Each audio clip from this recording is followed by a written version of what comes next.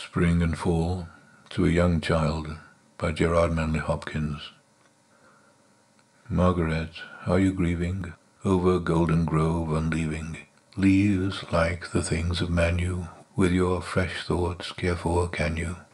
Ah, as the heart grows older, it will come to such sights colder, by and by, nor spare a sigh, though worlds of wanwood leafmeal lie, and yet you will weep and know why. Now no matter, child, the name, sorrow's springs are the same. No mouth had, no, no mind expressed, what heart heard of goes to guest.